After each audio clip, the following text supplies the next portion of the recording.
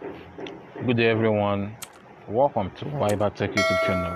In this video, I will show you how to delete Signal app group. So to do this, open your Signal app on your phone. Then click on it.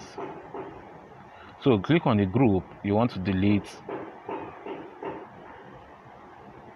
So click on the three dots icon at the top right of the screen then click on group settings.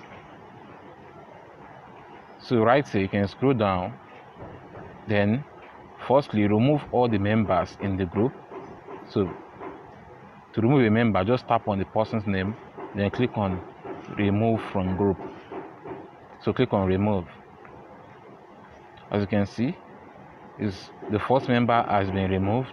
So also click on the second person scroll down then click on remove from group so click on remove. So right now the second person has been removed.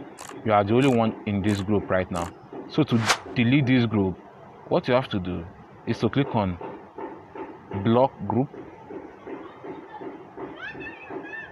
So you will see so you will see you will no longer receive message or update from this group and member won't be able to add you to this group anymore. So just click on block and leave group. So when done with that you can then scroll back then delete the group. Long press the group then click on delete right here.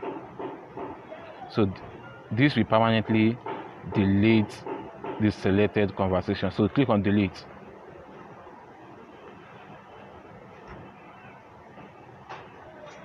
let's give it a time. Let's give it time. So right now the group has been deleted. So that's how to delete a group on signal app. Hope this video helped. Please give it a thumb up and don't forget to subscribe to our youtube channel.